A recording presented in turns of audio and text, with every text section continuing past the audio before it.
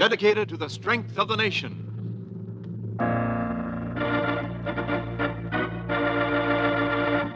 Proudly we hail.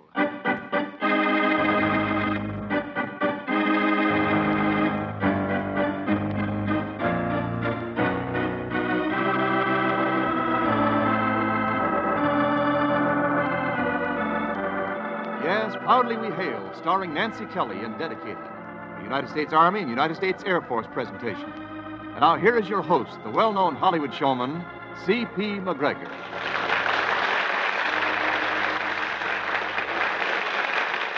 Thank you. Thank you very much, ladies and gentlemen, and greetings from Hollywood. Welcome to your Theater of Stars, where all your own motion picture favorites join us in plays we know you'll enjoy. Our star is the Broadway and Hollywood actress Nancy Kelly, and the title of our highly dramatic story is Dedicated. This is the saga of a nurse whose life is dedicated to her country and to the cause of freedom. We'll have the curtain for Act One in just a moment, but first, here's Wendell Niles with an important message. Here's a new career opportunity for young physicians. The United States Air Force is accepting applications from professionally qualified physicians to serve with the Air Force Medical Service. Qualified applicants will be commissioned in the U.S. Air Force up to the grade of lieutenant colonel, depending upon professional and educational experience, and will have an opportunity to broaden their professional experience as officers on active duty. For further details, write to the Surgeon General, United States Air Force, Washington 25, D.C. Now, once again at the microphone, our host, C.P. MacGregor. The curtain rises on Act One of Dedicated, starring Nancy Kelly as Mary Hoadley.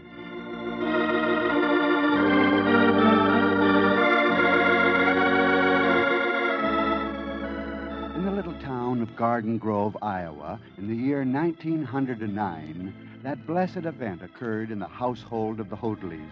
They were so happy because it was a baby girl.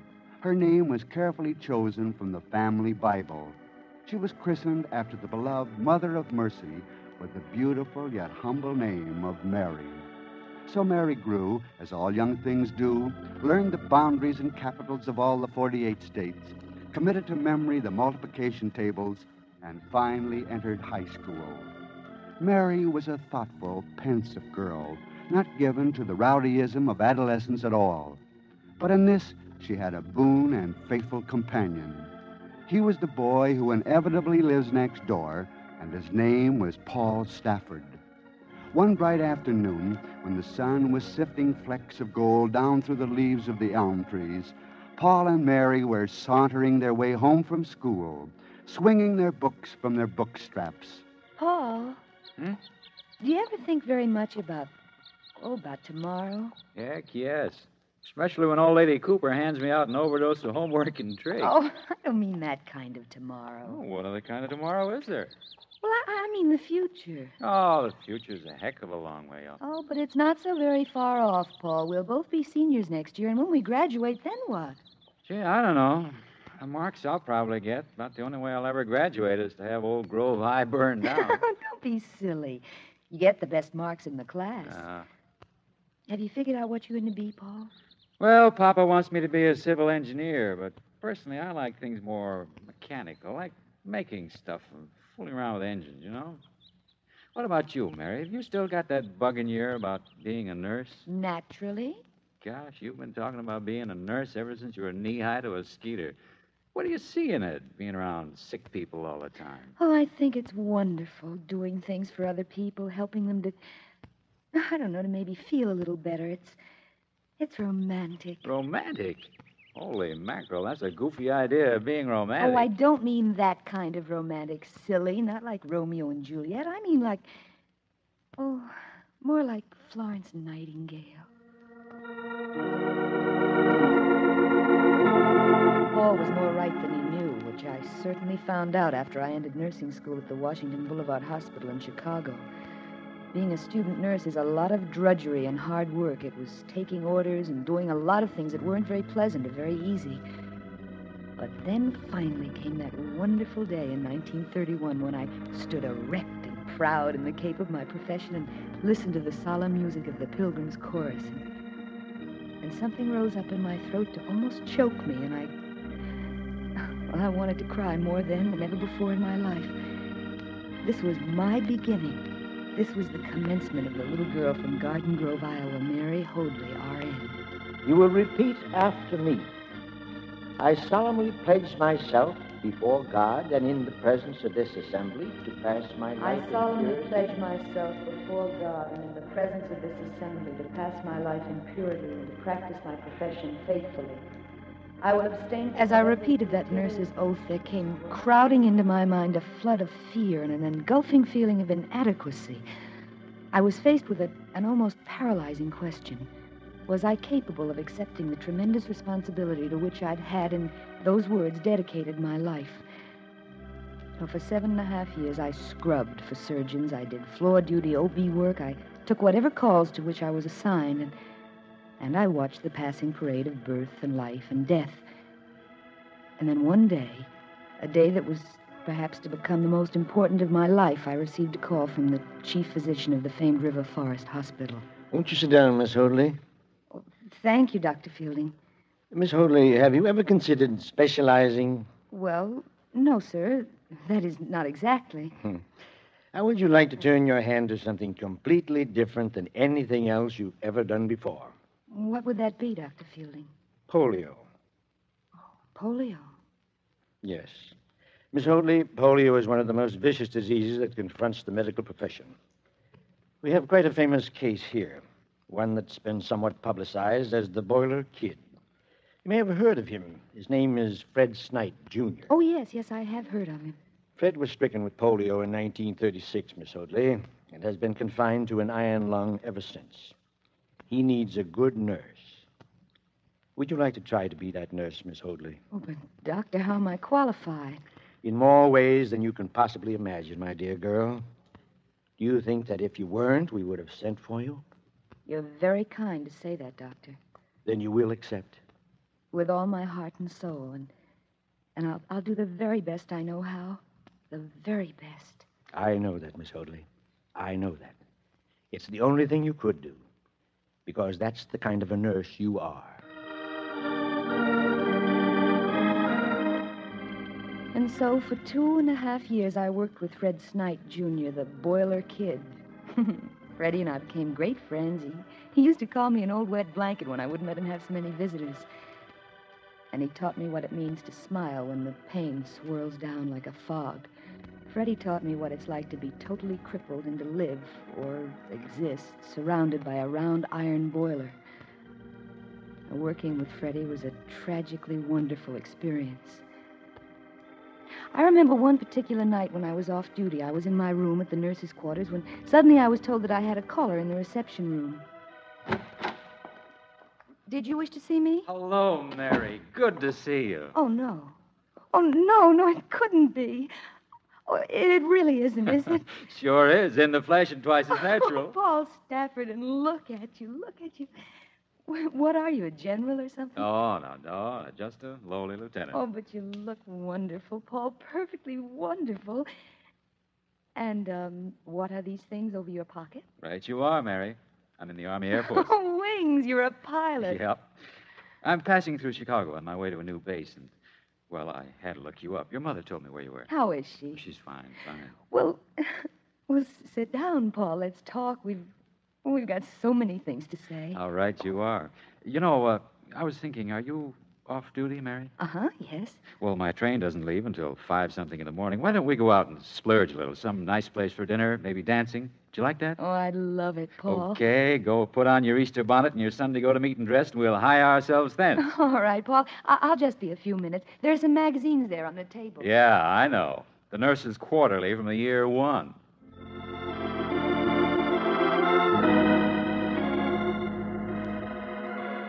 You know, Mary, grown up to be a very pretty girl. Thank you, sir. You don't, uh, you don't gangle anymore. Not nearly so gawky as you used to be. Oh, and may I return the compliment, Lieutenant, by saying that you've grown up to be a very handsome young man. You? Whatever happened to your freckles and your buck teeth and that corn shock hair of yours that used to fall in your eyes all the time? Nothing. I still got 'em. I just grew around 'em. And so now you're a pilot up flying with the birds. Yeah. Well, Papa always told me, hitch my wagon to a star, and this is the best way I know of doing it. How's your work going, Mary? Is it as romantic as you used to think it would be? Florence Nightingale with her lantern and stuff? Romantic, Paul? no, no, I don't think it's very romantic, but it's wonderfully interesting. It's even more than that. Oh, it's something deep down inside that I just can't quite explain even to myself. Well, what about this case you're on now, Fred Snite? He's become pretty famous, hasn't he? We read about him in the papers. Oh, well, I think famous is hardly the word, Paul, but he's wonderful. Very wonderful. Hey, wait a minute. The way you say that, Mary, I. Well, just how wonderful? Oh, not that way, Lieutenant. Oh. Freddie's wonderful in a way that few people could ever understand. He's taught me a great deal, Paul. Not only about polio, but about. Oh, about goodness and faith and real strength of character. Mary, uh, well, I know this isn't the time nor the place to talk about such things, but for me, time is of the essence. And I wonder, well, in fact, I've been wondering ever since we were kids in high school if maybe someday you'd be my very special nurse and take care of me. Of course, Paul. Anytime you get sick, you just let me know. Oh, I'm sick now. Really? It's nothing fatal, I hope. Well, I think it's been known to be. It's my heart. you know? Your heart. Mm. Sitting here looking at you, it goes boom, boom, boom, boom. I get all woozy, spots before my eyes. I, I seem to hear birds singing. Oh. Maybe uh, you should take something for it. Maybe it's just a vitamin deficiency. But seriously, Mary, when I finish this tour of duty, may I come back and ask you a very important question? I'll have some money saved up by then. Might even be a captain. Who knows? What do you say, Mary? of course you can, Paul. Have You any idea what the answer might be? No, not the vaguest. I never know what an answer's going to be until I know what the question is first, but. But I'll wait till you come back, Paul, and in the meantime, I'll struggle along, being very, very curious.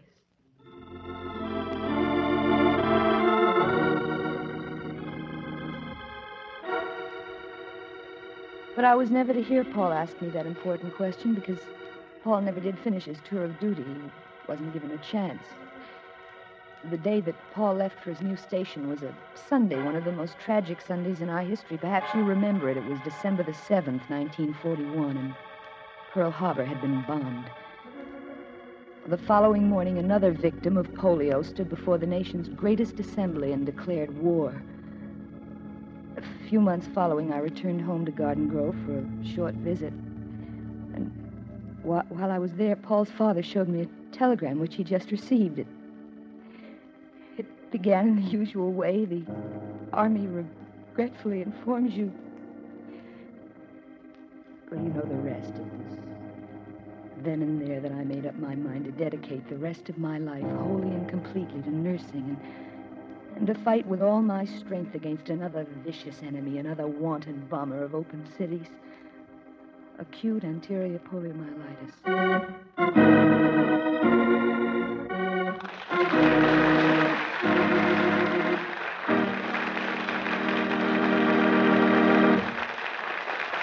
We pause briefly from our story, Dedicated, starring Nancy Kelly, to bring you an important message from our government. Registered nurses, here's a special message for you. The United States Air Force is offering you an opportunity for security and advancement in your chosen profession. To qualify, you must be between the ages of 21 and 45, married or single, and must be a graduate of a school of nursing acceptable to the Surgeon General, United States Air Force.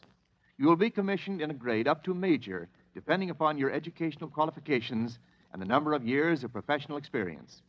After receiving your reserve commission, you may apply for extended active duty for periods ranging from one to three years. You may serve in one of the military medical installations in this country or abroad. You also have an opportunity to apply for training as a flight nurse and receive full pay and allowances while attending school. For full information, inquire at your nearest Air Force base or write to the Surgeon General, U.S. Air Force, Washington 25, D.C.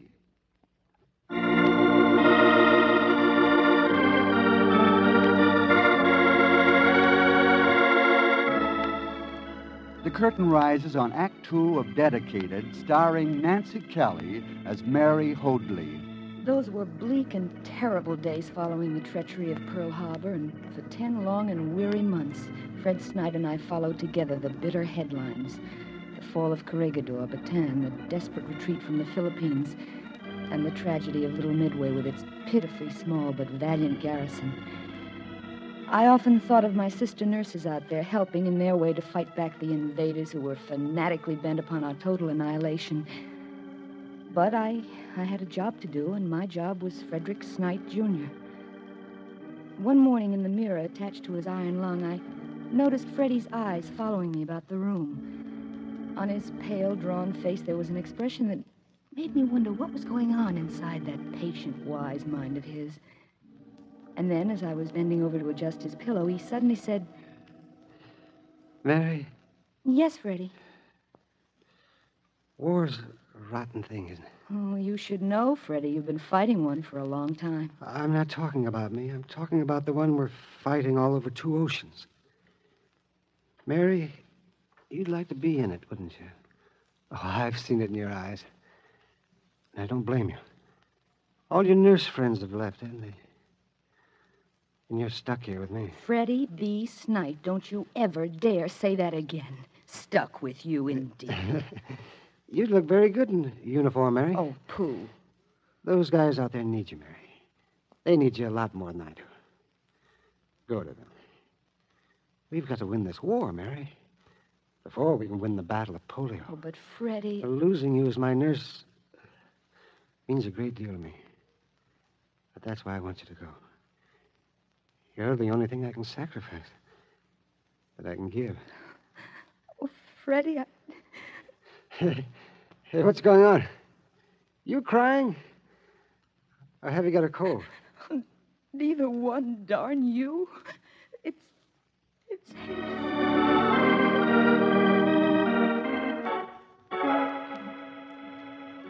And so I went.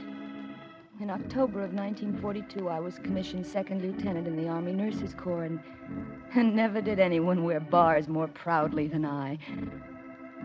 Well, all war experiences are more or less alike, some of them more adventurous than others, and some of them more hazardous. I, I was assigned to a medical air evacuation squadron whose mission it was to receive the incoming wounded from the combat theaters and to provide them with medical care during transit to the great service hospitals in the United States. But there finally came, as you remember, that wonderful day. They, they called it VE Day. And a few weary months later, VJ Day. I was sitting in my quarters talking to Captain Fenwick, another flight nurse, a buddy of mine. Jeepers, Mary. I feel like a blown out tire now that it's all finished. Oh, but it isn't finished, Joe. Not really. There's a lot of mopping up to do in the hospital. I'm afraid it's going to be a long, long time before we can say position secure. I suppose. What are you going to do, Mary? Oh, I'm going to stay in the service if they'll let me. Oh, you're glutton for punishment. But maybe that's why you're the kind of nurse you are, Mary. Oh, You really take it seriously, don't you?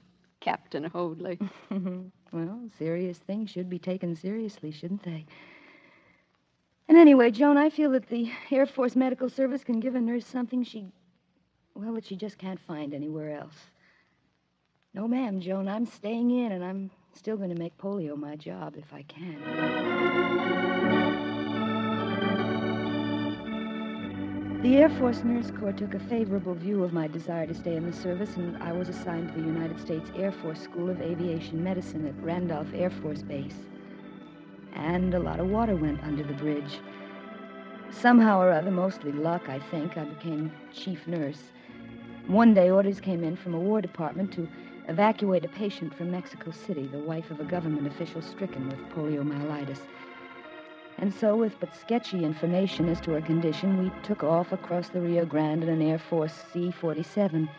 There were three of us Colonel Don Flickinger, flight surgeon, Master Sergeant Russell Johnson, aeromedical technician, and myself. When we arrived at the Mexico City hospital, we found the mission ahead extremely precarious. Uh, we didn't get here any too soon, Captain Hoadley. I don't know about our chances. Oh, we'll make it, Colonel. We'll make it somehow. Captain, look at the head collar on this here lung. The rubber's all rotten and cracked. It's losing pressure. That's why it's not helping her to breathe. Look, quick, Sergeant, go out somewhere and get an automobile tire tube. Now, don't ask me where. Beg, borrow, or steal it if you have to, but get it, and on the double. Yes, ma'am. I'm on my way. Colonel, Colonel, she's turning blue. Can you help me get her out of this respirator? I'll Oh. give her artificial respiration until the sergeant gets back and we can get the iron lung fixed. We'll have to work fast, or we won't have any patient to work with at all.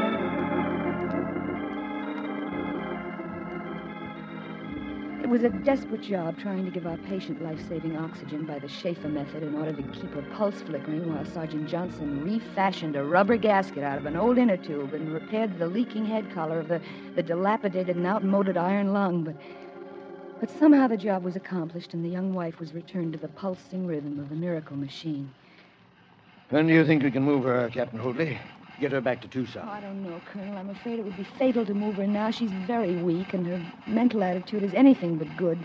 She's so terribly frightened. Yes, I know. Hang it, we've got to get her into the Tucson hospital within the next few days, or else. Well, there won't be any or else, Colonel Flickinger. There mustn't be. Maybe somehow I can ease up her mental tension sufficiently to get her ready to fly. Let me keep working with her. Let you, Captain Hoadley. Great Scott, girl. With your knowledge of polio, you're the only one who can give us any chance at all. And I realize that that chance is about as slim as leading a camel through the eye of a needle.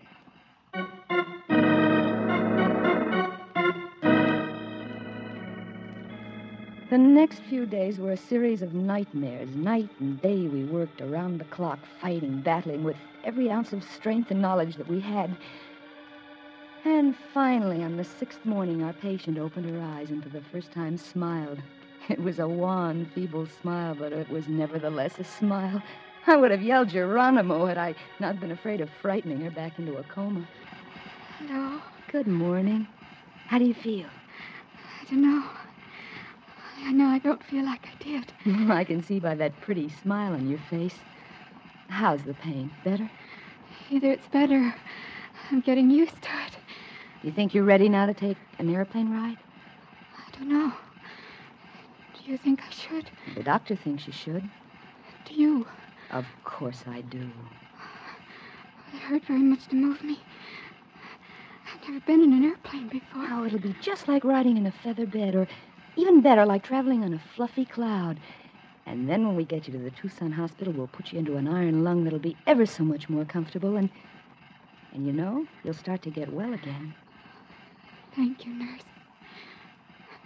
Nurse, don't even know your name. It's Mary Hoadley. Just Mary to you. Mary. That's a wonderful name for a person like you. Mary, Sister of Mercy.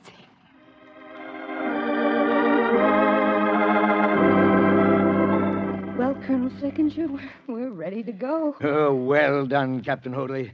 You've done a wonderful job. And now you'd better get some rest, young lady, or we'll have another patient on our hands. And frankly, one's enough. Oh, don't you worry about me, Colonel. When we get back to base, I'm going to go to bed and not get up for ten years. Oh, I'm going to sleep and sleep and sleep, and then I'm going to turn over and sleep some more. The sleep of the just. Mission accomplished. Oh, it's a nice phrase, that. And, oh, by the way, Captain, when I make my report to the General, there'll be a few things I'll have to say about you. And all of them good.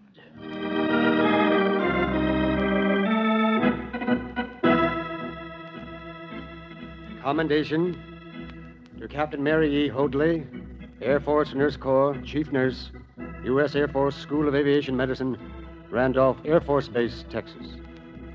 Captain Hoadley did overcome numerous obstacles and difficulties to successfully prepare, mentally and physically, the patient for air evacuation, and did provide superior nursing care without which the mission could not have been accomplished.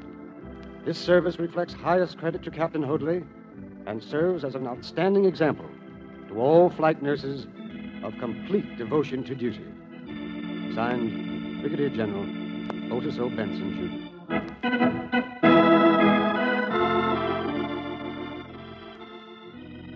that's the story of how the little high school girl from Garden Grove, Iowa, who dreamed of one day becoming a nurse, became a nurse.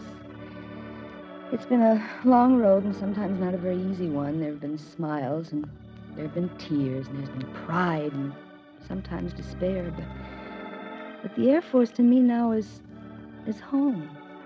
The Air Force Medical Service is an instrument of peace as well as of war, and, and one which will never cease fighting to preserve our nation's health and our nation's welfare. In polio, our enemy is invisible, and sometimes our weapons are futile against its onslaught, and we have to retrench. But, but this much I do know: we'll never retreat. The Air Force Nurse Corps will never, never give up the fight.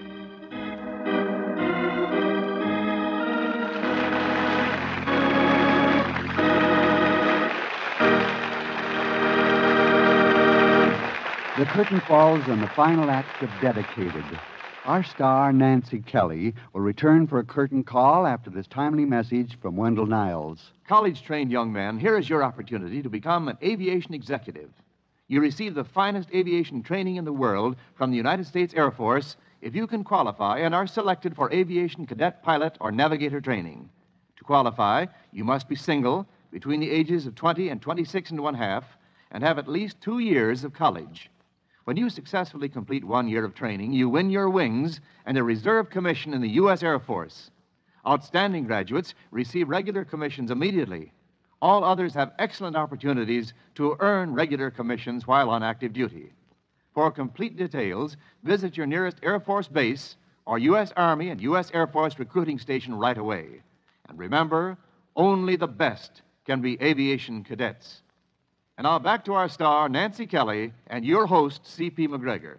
Nancy, I can say in all sincerity that it's good to have you back in Hollywood again. Oh, thank you, CP. But, you know, as soon as I finish doing Light Up the Sky out here, I'm going to do another Broadway play this fall. Well, I really can't blame you. After your New York success in The Big Knife with John Garfield, another hit right now would be in order. Is this the play Eddie Dowling is directing? Mm, That's right. It's called Ticket to Nowhere by Arndt Gusti, and it's, well, I hope that it is a grand story. I wish you lots of success. Thank you. Now, if you don't mind my changing the subject too abruptly, there's something else I want to mention. Oh?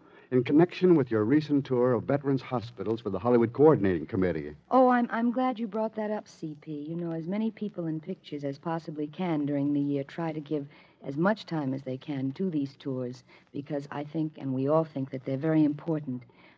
And my trip was an unforgettable experience. In fact, I've asked Irving Landy to put me down for another tour just as soon as it can be arranged. You know, a lot of your friends in those hospitals are hearing this broadcast. So, just for the record, I want them to know that the Surgeon General said you did a remarkable job. Oh, well, that's very good to hear, but I really love doing it. And now, CP, I'm anxious to know what you've planned for your listeners next week. Next week, Nancy and ladies and gentlemen, we're going to bring that perennial motion picture teenager, Mona Freeman, to our microphone, but in a very grown up part as a young and beautiful school teacher.